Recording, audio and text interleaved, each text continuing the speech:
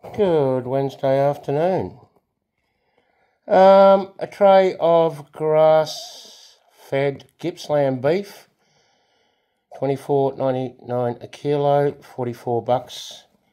I was just at the uh, shop and I saw a young lass purchase fifteen grams of tobacco for forty five dollars. They used to make tobacco in um, 50 gram and 30 gram. That's how expensive it's got in Australia.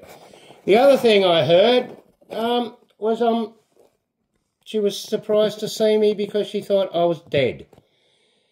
Um, so I think that warrants a beer. Um, one of the agents is going around the district telling people I'm dead. Well, I'm not yet. Anyway, since I've started uh, got a good supply of steak again. My level of health and fitness has come back. So my strength has come back. Whatever. Anyway, enjoy your day. Here's to me. Cheers. Cheerio.